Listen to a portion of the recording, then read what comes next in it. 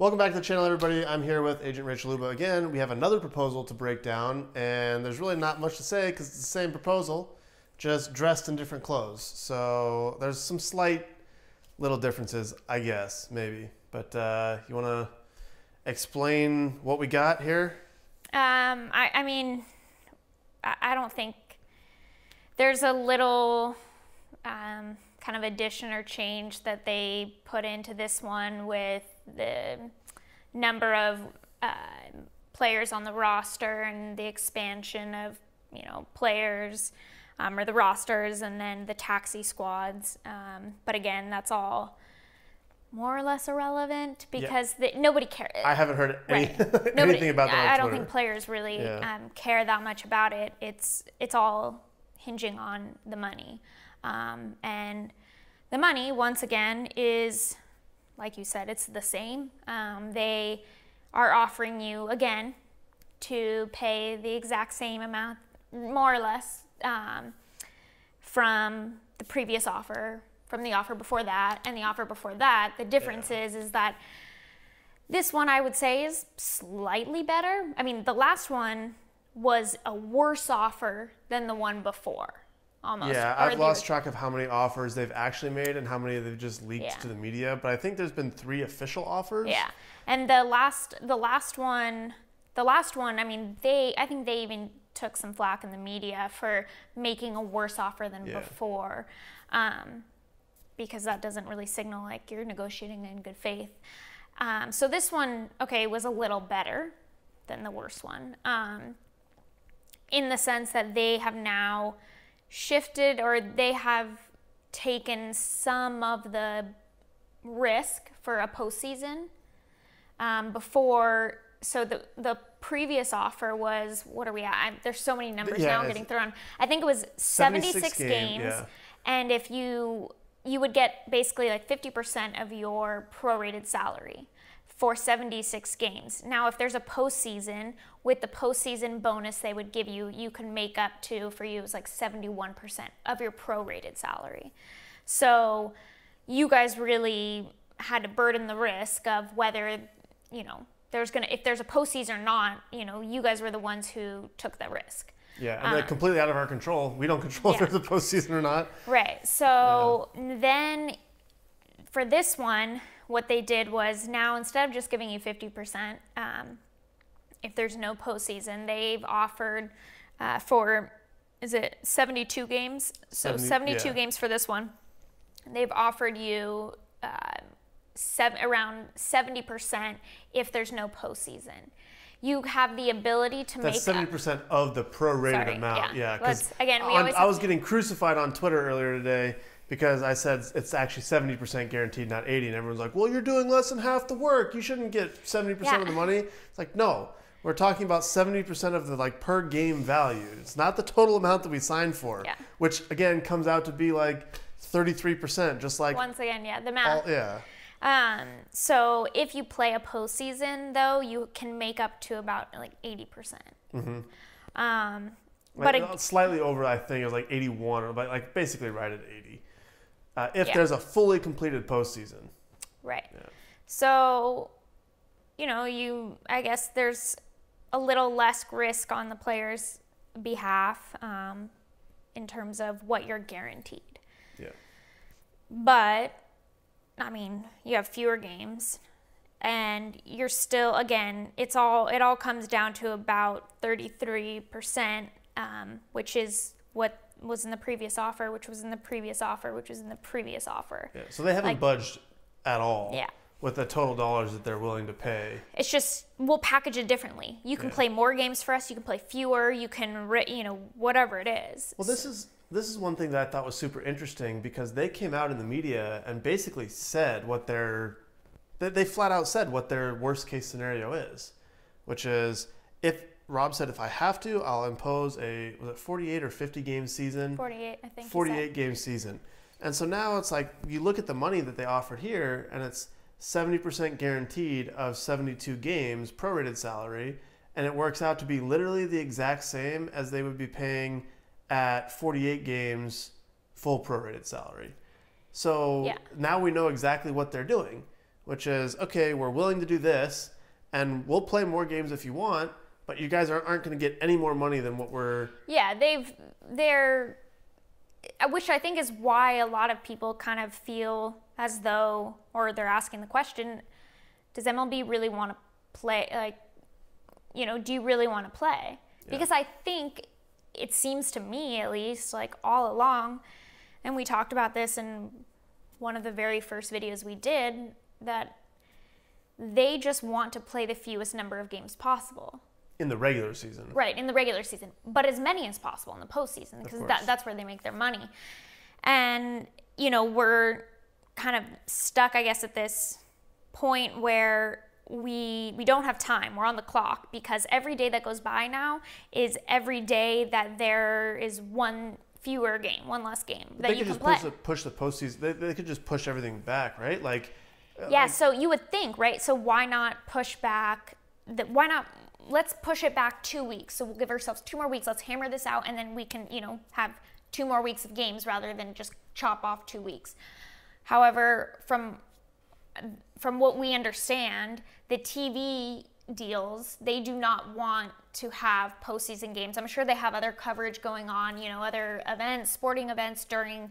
Um, other months and other weeks I mean, after yeah, they, NBA is probably going to be going on then. Who like football's coming back. Like usually comes back mid September is when like college football really starts up, and then Yeah, so they have. I mean, they- plan. I mean, years in advance, right? Of these TV deals, they know they know every year in October you're gonna have postseason baseball, so they don't want to push that back. So for the owners to be able to get their full postseason amount, um, because I don't think they're negotiating of oh we'll give you prorated on or you know if you push it back, it's you know they want their full contract that the owners were promised for these TV deals, but the stipulation I think is that they cannot push back the season.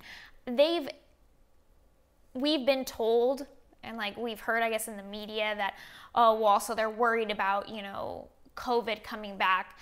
But if you have a hardline stance to me on September 27th, which I believe is the that's yeah that's they- the date that I've the heard. date that but I believe it's the date the original date that the season was intended to end. Mm-hmm.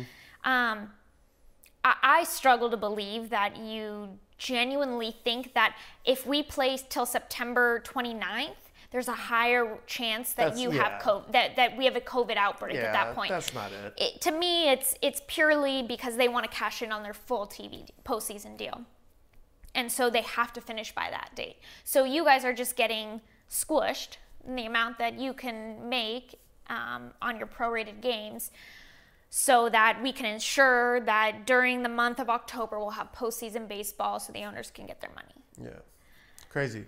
So basically, you know, knowing their bottom line is we'll we'll pay this amount, 48 games full prorated, uh, or you can play 70 games for the same amount, 72 games for the exact same amount. But every time you step on the field, you have a chance of getting injured. You have a chance of like taking a line drive. I got hit with a line drive, broke my shin, had to go through rehab. You have a chance of having Tommy John as a pitcher, breaking a, a hand as a, as a hitter, getting hit in the head. You know, mm-hmm. there's all this risk that goes along with playing, and it's no, it's not going to be any different this year than it is every other year. But if you're saying we're only going to get X amount, but you can play 20 more games for us, and we'll still pay you X amount, you're basically playing those games for free. Yeah. So for players, why would you take the risk to go out there and play if you're not going to be compensated in any way and take the risk when because a lot of people on Twitter would give me this play for the love of the game deal. And I get that. All the players step out there and play for the love of the game. I've met, I've met very, very few players. I have met a couple, but I've met very few players that just play to get the money. Like that, that that's their only motivation, you know? There's some there are I would say I probably can think of like two that I know for a fact they just and and I don't blame them because I mean I get dedicating your life to a sport and what it can the toll it takes Yeah. but there are probably I can name like two I think that just hate the sport now Mm-hmm. which I, I can understand I mean a lot of people hate their careers and these Yeah. you, you know you've trained your entire life like for this so but aside from that it's like I think every player feels as though like they would wanna play, play. they want to play they want to be out there they miss it they miss competing but you're playing while you're playing if you're playing for free it's not really for just like free and for entertainment for fans because the owners are sitting in their cush Making little boxes making millions. Yeah. And then next year, you know, when you go out there and in one of those games you end up getting hurt and have to rehab and, you know, the, the owners aren't going to say, well, we really appreciate it that you played last year for free, so we're going to help Mm-hmm. you out. We'll sign you to next year's contract even though you're hurt for the same amount of money that you would have gotten if you weren't hurt. Right. You know, the fans aren't going to tell the player for sure that, hey, you know, we appreciate you going out there, taking one for the country, taking one for the team, and playing and putting yourself at risk. And then, you know, we're going to compensate you in that way. So players take on all this added risk of going out there. Then also, you know, the next year's deals, uh, you know, if you don't have as many stats, if you do get hurt, and, like they're going to crush the market anyway. And so there's just all this financial risk off into the future by playing these extra games. Now, if you're going to be compensated how you were expecting to be compensated for those extra games, then no problem because you're going out there. There's value right now. Like I play these and games. And to be I- clear, again, because it seems like every time this part gets lost, you're already you're you're expecting to be compensated, or what you expect to be compensated is the prorated amount of your salary, not what you're guaran- you are guaranteed. yeah. So like, just based on games, which is Right. about, you know, Yeah, yeah. we're under fifty We're percent. already under 50%, right? So exactly. yeah, and we're not asking for this Yeah, people people get every, that every time. get I'm that like, twisted. Are you just stepping into the argument? Like, Yeah, I don't, I don't, yeah. So, anyway. because no, because that's well understood about by everybody who's been in any way following what's Yeah. been going on. I wanted to jump into the, like negotiation tactics because right now, as I see it, and I'm I'm not a lawyer. I don't I don't do this for a living, but I see one side is like firmly entrenched, and the other side is firmly entrenched, and there's not really any negotiation going on in the way that I think of negotiation. Right? Negotiation is we sit down. I'm like, hey, I want this. You're like, okay, uh, well for that. If I'm going to give you that, I would like this. I'm like, well, I can't give you that. And you say, okay, well, how about this? I'm like, well, I could do that, but I'm going to need it. And there's some talking, there's a back and forth. I understand what you want, you understand what I want, and we find something that like some is somewhere in the middle. And, and then you go. That's how I think of negotiating. Like we're talking about it, you know. But it doesn't seem like there's any talking necessarily going on. It's just, hey, we're going to send over a proposal, and the other side catches and like, nope. Hey, we're going to send over a proposal. Nope. Hey, we're going to send over a proposal. Like, that doesn't seem like anyone's talking. So I know we've talked a little bit before about the negotiation strategy. And I think it's a really valid point. that You say there's two types of negotiation strategies, dominant negotiation strategies. You want to let Yeah. everybody kind of know what those two are? So, I mean, and that's one of the first things in law school that, you know, they teach and I took I got a certificate in dispute resolution. So it's the negotiations, the mediations and arbitrations, right? So not when you're in court or, mm-hmm. you know, that kind of litigation. And you will learn about the different, you know, negotiation strategies and when to, you know, use different tactics. And I think one of the most important parts is identifying like the situation that you're in because that's how you decide what tactic to use. There's, you know, there's so I guess the two tactics, the two main kinds of negotiations, and I tweeted about this a little bit, but I guess to explain a little more, you have the first type, which is the very traditional um, negotiation that people think of. It's the very cutthroat one. And just to be clear, like there's no right or wrong.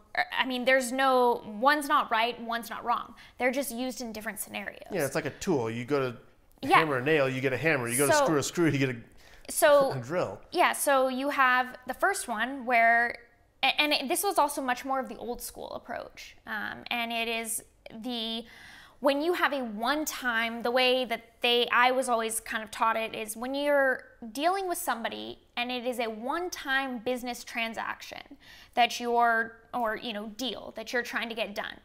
Um, a good example, like it could be a plea deal that you know you're negotiating on behalf of your client who is you know going to get murder charges, you know, brought up for murder char- on murder charges, right? You want to ho- hopefully you will never be having to you know get a deal again with these people, right? Right. So I'm going to do everything in my power to set my client up in the best position so that when we walk out of there, we say that was a fucking win. Like Yeah. We we got the best deal. And do you know what always happens when one side feels like that?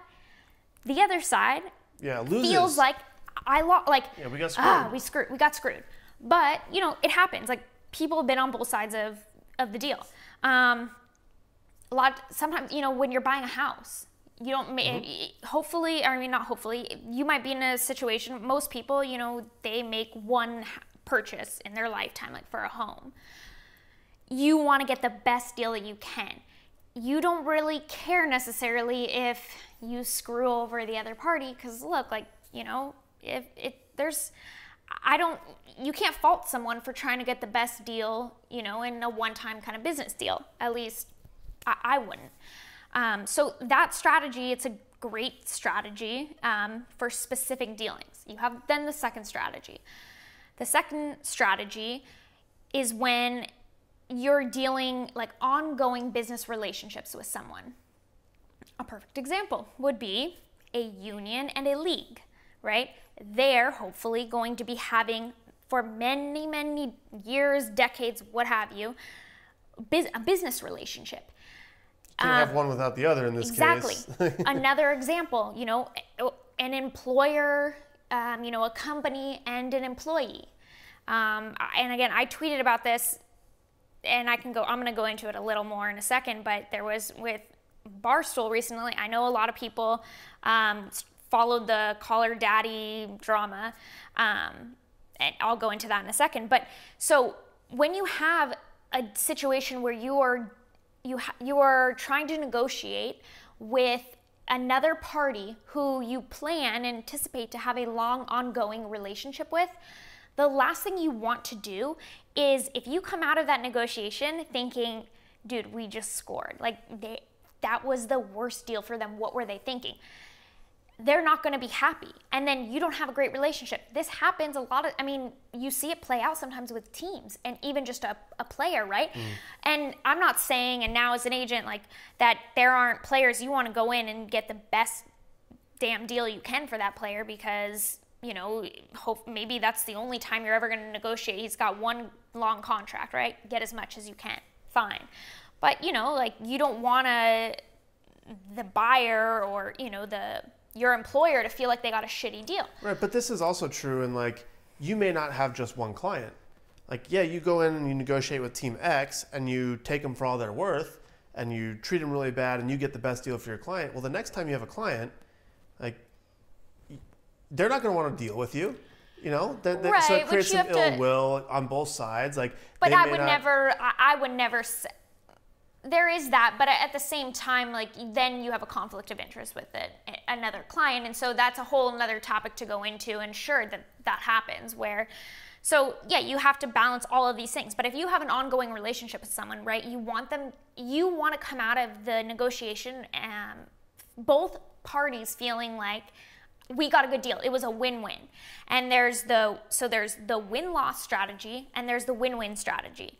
They're both great. They both should be used at different times. You should be able to use both tactics. The worst thing you can be as a negotiator is to only know how to use one tactic because you will not be the most effective negotiator in the end if, Yeah. if that's how you operate. And so then, you know, there's the art of, and I don't think it's that difficult, but figuring out, look, what situation am I in and what kind of tactic do I need to use? Do I want to, you know, stand firm on this and play chicken and I'm, you know, stare down the barrel of the gun and like, I, this is what I want?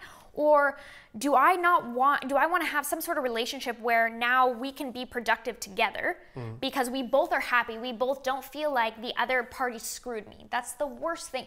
You're screwed as you're screwed in terms of having a working relationship Yeah. if the other party continually feels like you screwed me because you know what they're going to do the next time you walk into a negotiation they're going to try to get back at you a little and then Mm-hmm. they're going to try to screw you and then you're going to feel screwed and then you just sit there now and uh, it kind of seems like this when with what's going on right now is like each party is trying to each party feels like they were not treated fairly Mm-hmm. and so each party wants to you know exact their revenge and get Yeah. get even, be made whole. and it's it sucks because there's other people that end up like the fans that now have to pay the price because of you know, a relationship that's not so great. And uh, like I said, I was gonna, you know, talk about the Call Her Daddy, the barstool thing. Mm-hmm. It was a perfect, like the nerd in me got so excited when I saw it, and I, I think I was telling you about it because not that I cared about the drama of any of it, but I when I st- I went down a rabbit hole watching like listening to Portnoy talk about it and both Sophia and Alex talk about from their sides and what happened because I was fascinated in terms of the negotiation of it. And you saw two parties. You you rarely have like two parties who are their own individual person and have their own interests, but yet are on the, you know, same side kind of negotiating mm-hmm. together. And to see it that clearly play out where one takes the strat the first strategy of I'm going to milk you for everything that I can. Like I'm going to suck everything I can out of this I want I want to come out feeling on top. And then the other party's like, look, like I want to work together. I, I want how do how do we get a win-win here? Because Alex, in this case, she saw the benefit of what Barstool provides for her. She liked the relationship, like she wanted an ongoing and a continued relationship. And then you have Sophia's strategy, where she, you know trying to get the win-loss strategy and you see in the beginning, it worked at first when they talk about how the negotiations went because all of a sudden Alex is like, whoa, like you're getting way more than we even asked for. And she's like, you know, almost like uncomfortable, like we weren't even asking for that. But Sophia's getting more and more and asking for more and more. But then she got to the point where you you risk it and you push it and now she literally I mean she she severed the relationship like she ruined it because then Dave's at the point he's like, you know what? Screw, screw you. Uh, we don't need you here. Mm-hmm. So you're out. Like you're done. And now Sophia does not work for Barstool anymore. She is not on the podcast anymore. It is just Alex. And again, to me, I mean, if I'm negotiating, I would have taken Alex's strategy all along because you want, if you're going to try to keep working with them, you don't want to put them in that situation where they feel like fuck well, you. It, to, to, me, it's a it's a short term versus long term thing, right? Mm-hmm. If it's short term, then you take the strategy. I want everything I can get right now. Right. If it's long term, you're looking at it like, okay, well, I could be working here. I could have this podcast for 20 years, 30 years. Like, look at the the wealth that I can build. Look at the relationship we can have. Look at all the things we can do together. And this just seems very MLB to me on both yeah. sides. It's like MLB has traditionally been very short sighted what do we do right now? Like, how do we make money right now? And like, what's good for right now? And they right. don't, they lack it the vision. It doesn't have to be even a, it doesn't have to be a 30, 40, 50 years, but it could be a two year thing. Sure. Do I have to have a working relationship? Like, you're not go, I mean, an employee employer is also very different because it, it's a lot shorter in term, but this is an ongoing, you know, for long past when you and I have been in baseball, when probably will continue to be in baseball, this will continue. So right. you want to have a working relationship. Right. And yeah, trying to screw someone over now, trying to screw the players, the union over now, isn't going to set you up well for then when the next CBA comes around. Yeah. So how do you fix this? Because that's ultimately like we're in this situation and this dispute right now is going to get resolved and ultimately you know, baseball will go on this year at some in some capacity. Baseball will happen next year, and then you're going to have the CBA. And the worst possible thing for baseball is if this we play 50 games this year, and then we have a lockout or a strike after next season. So how do you get how, how do you get two sides that seem to be so entrenched in like not talking and, and just like strategy was the strategy one where it's like the win lose strategy how do you get two sides to them? There's so much distrust. You, There's yeah, so yeah. Much... How do you peel back the layers of the onion to get them to come together? And what does that even look like when you're using strategy two? Is it like they sit down and they have lunch and they just literally just try to have a relationship? It's it's really business, or how do you how do you do that? It's really hard because a, a lot of times the problem is when this happens all the time where you get into a relationship like this where you would the second strategy would be much more beneficial but it's not being used. And what inevitably happens every time is that it just the the business relationship crumbles and that's mm. it and it does it's it's done. Just like you saw with Barstool. It's over. Yeah. They don't have any the hostile environment anymore because Sophia's gone. Yeah. The problem is, is like this is a very, you know, one of the more unique situations where it can't really just fizzle out, and that's why we've just seen it perpetuate Yeah. of just this hostile environment. And I- don't know, like they need their own dispute resolution, t you know, Yeah. within their own negotiations because I- don't know. Do you sit, Well, you seems- sit them both down and tell them, you know, like talk about your feelings and how you feel like Yeah, you've do we need to take hurt. MLB and MLBPA to a counselor? That's what I'm saying. Like, sometimes I feel you need the teacher marriage to come in, or yeah, why do you feel like this? You know, they've broken your trust, and what? But I don't know. It you need you need parties on both sides that can have a working relationship. Well, as a lawyer, you're negotiating with someone, right? And you don't trust them, but you have to negotiate with them. Is there a strategy that you use to like, because you can't very well just have one side say, you know what, we're stuck in position one, we're going to go with strategy two, and now we're going to be open, we're going to have a dialogue, we're going to you know share with them and be and want this working relationship. Because if this, if the other side hasn't decided that, then you're just opening yourself up to to lose big time, right?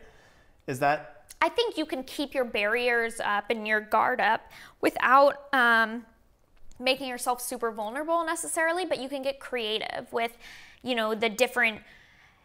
Then I mean, this is this is the that's the most difficult situation is when you have to negotiate with someone that you don't trust. But you then have to put yourself in their head, in their mind, and you have to start getting creative. And you can't then just um, like use the same tactics that you've used in other situations.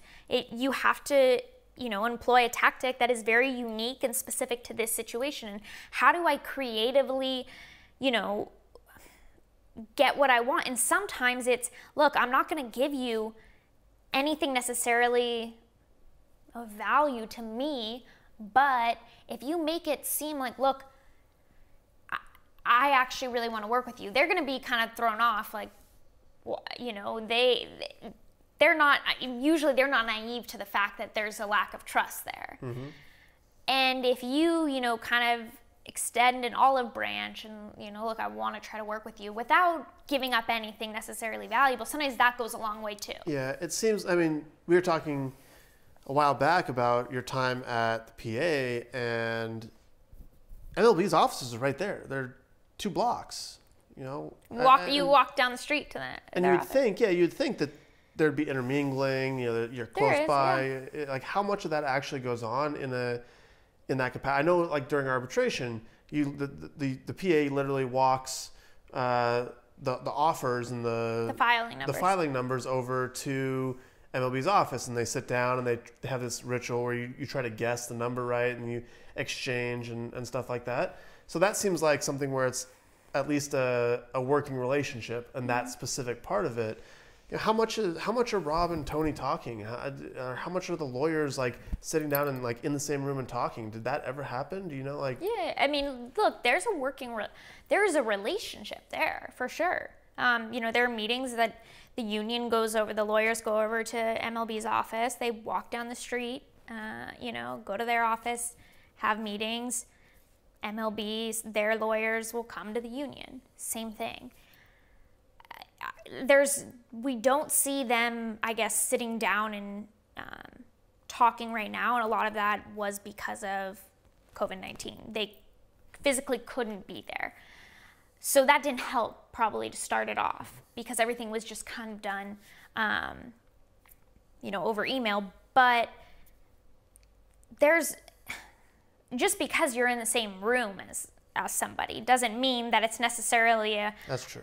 a great working relationship and there's just there's a lack of I think trust on on both on all, both I sides saw a tweet. I saw a tweet today that said that you know players feel like they've been bullied by the owners, and so um, one of the things actually I learned this or I heard about this in uh, domestic violence training that we go through every spring training, and what part of one of the presentations was you know power in a relationship. And if one party feels like the other party has more power than them, it's an unequal relationship, and that's how, you know, the domestic violence starts. The parent has more power than the kid, right? The husband has more power than the wife. The whatever the the situation might, might be. So if the players are feeling bullied by the owners, then it seems like the power is residing with the ownership or with MLB, and the players feel like they're getting bullied, and this, in a way, this kind of abusive relationship. I don't want to term it like that because it's not it's not the You're- best example Right. by any means. But just looking at the power differences, like if players don't feel like they have the power, and MLB does feel like they have the power, there's this unequal relationship. So Right. it seems like they need to unwind that. A lot of it seems to be centering around the financial, like the financials of the league, because there's no transparency with what the league makes on uh, in the postseason, the, the, the actual language in the TV contracts, what the actual gate revenue is uh, during season, how much would actually be lost if playing with no fans. What are the you know all the, the, the restaurants and the little ballpark uh, amenities that surround the ballparks that are owned by the owners? What do those bring in that are you know I so think I think another big thing too that I mean would help, and again, this kind of is something a tactic that you learn in negotiation is sitting sit down with the other party and figure out like there's always something when anytime you want to have a business relationship with someone you have something in common. That's why that's why you're having Yeah. you're having a negotiation with them. You have things in common figure those out because then you know you can work together at least to achieve those things. And a lot of times the other things kind of align or you know somewhat align. I think you know a scenario where I don't know. Obviously, this would not. I mean, you can't, it'd be so hard to get it to happen. But if owners sat down with players and like, look, this is what we want for the sport. This is what we want for our teams. Showing, look, we care. We want to see it grow. My guess is players, you know, would say, this is what we want to see for our sport too. We want to see it grow. We want to see that. I think we're forgetting that both sides want the same thing players want owners to make money. You know why? Because it will directly should directly correlate in then what owners are willing to spend on players and their compensation. And if they feel like, look, we're going to help you guys make money. We're going to promote the game. We're going to do more. What can we do? And then they see, you know, look, now owners are going out and spending. And now, if you have a free agent, you know, an, uh, an off-season market where there's no no one spending, and players are like, "What's going on?" Yeah. That- And that's that, where- that seems and to be that's the disconnect right now, right? Mm-hmm. Because you would assume that if the industry makes more money, then owners make more money, then owners have more money to spend, and players would make more money, and so that would be good for everybody. But what we see is revenues continue to rise, team valuations continue to rise, and then the player share stays relatively the same or sometimes shrinks. This was one of the first years last year where I believe the average salary dropped for the first time ever. Right. Now you have the, the top end that's making these massive deals. You know, Sure. you saw Rendon, Cole, um, Trout, like Yeah. Harper. You'll but then you have also have but the middle class is what's shrinking. uh, yeah, right. And you've already heard owners talking about next year how they're only going to have players on minimums or the free agents that they have to pay, and so they're just getting rid of all the you know the, middle, middle class. class. And so now the the players feel like they're being you know, that that trust has been broken because look, you know the industry's making more money, but why aren't we seeing the money, right? And so then that's where the the initial distrust came in. And it's so just that, that, perpetuated. Right, and then there's all sorts of other things that get stacked on top of that, and that's how we ended up in this situation. So I think it's imperative that we find some way to have transparency on both sides of like, look, this is what we want, this is the direction we see it going. Okay, this is the direction you see it going, and like, those are actually pretty similar, so we can we can work Yeah. that out. One of the questions I had uh, during this whole process was like uh, uh, specifically relate, relating to the CBA, since this is kind of like a mini CBA discussion because we're trying to come up with the rules on the fly and figure it out because of COVID 19. Well, it's not really similar in that sense. It's all on the fly and only really pertaining to this year. Yeah, yeah, yeah, but it's it's at least there's a negotiation back and forth about when how things are going to start. So it's like a, a sneak peek into what you know the Hopefully not, hopefully not yeah. right. But is there a scenario where you just like completely like ditch the tactic that you've been using or the, like all sorts of uh, your history and just do something completely new? For instance, I'm thinking, would you just propose a drastically different like CBA? Is there any situation where like the union may perhaps just write out like this is exactly how we would like to see it in a perfect world for us and submit that over to MLB and then see if there's like if they could talk about it, would that like disrupt the flow of this bad trust between each other enough that it might shift the relationship in some way? Sure, of course, like th- that could happen, but you're also this is coming from one of the ultimate like disruptors in the industry of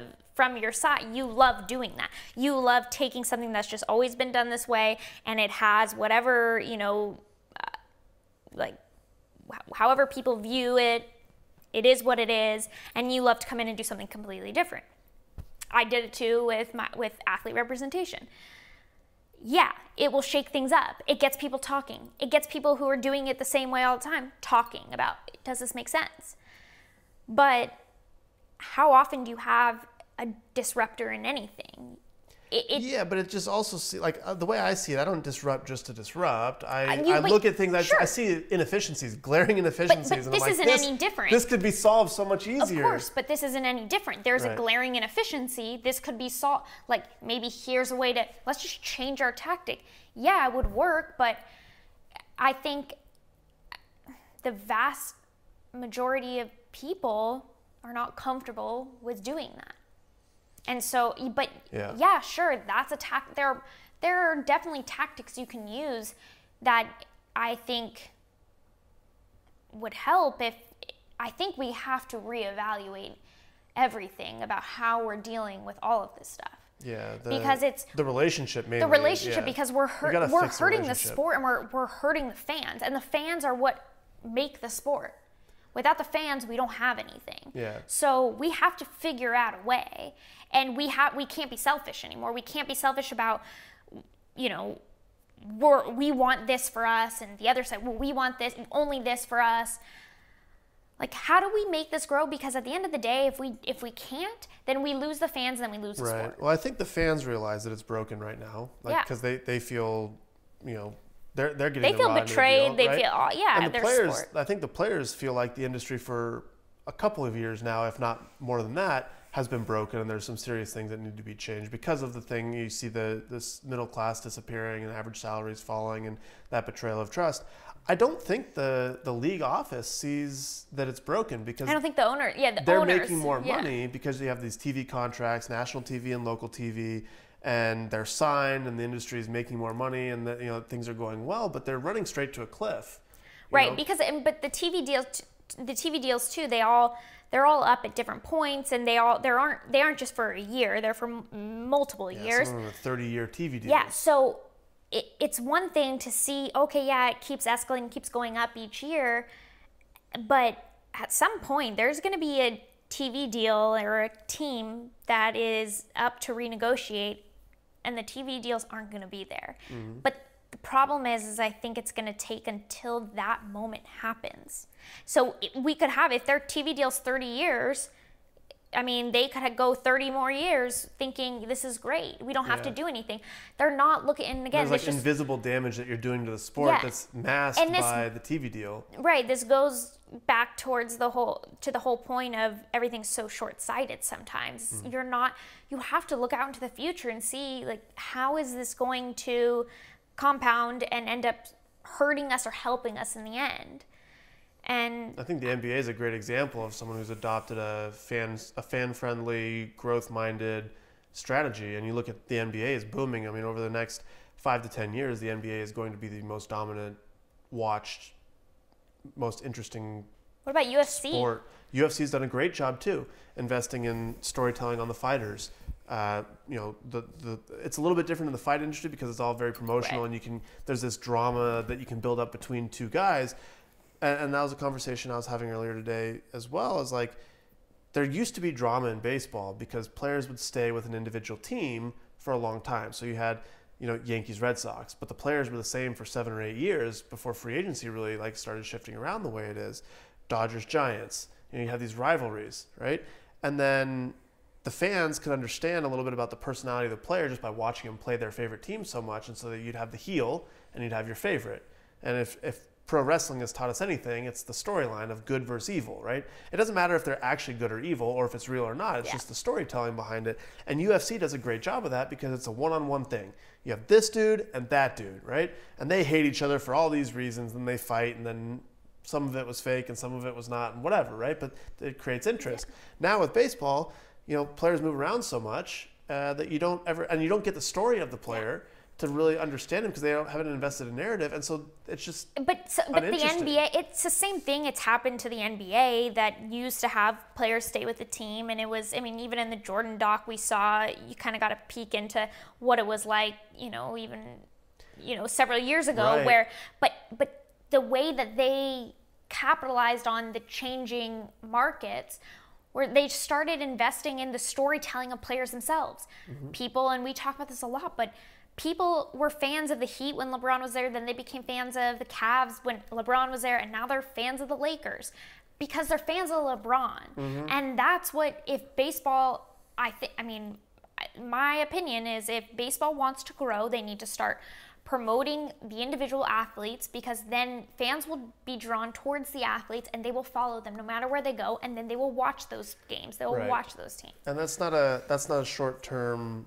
strategy. It's not a short term money grab because you're going to end up spending a little Yeah. bit of money and you're not going to see immediate return. And mm-hmm. so in the first couple years, it might look like a bad decision, but over the course of the first five, ten, when you start cycling some of these young players that you really tried to tell a story on and promote and work with, and they become the next versions of you know Francisco Lindor, Mike Trout, Rendon, Scherzer, Right. like these these superstars and the fan they have a huge fan following and the fans know them and their personality then you're going to start seeing massive amounts of growth.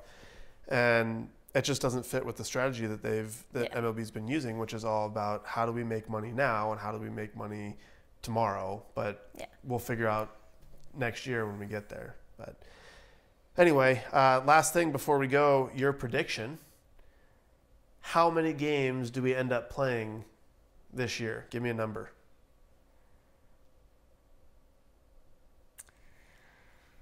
i don't know 55 55.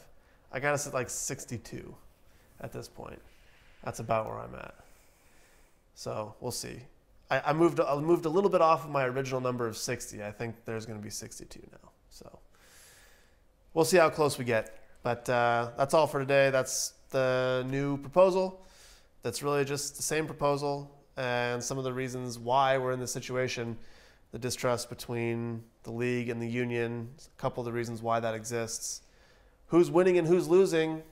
Fans are losing, players are losing, and owners are losing. Everyone's losing right now. Uh, I need to work together and figure out how it can be a win-win-win. Fans, owners, and players. So both sides have a lot of work to do, and the fans, well, all the players want to be out there playing and entertaining you guys. So hopefully we get to do that soon. See you guys in the next one.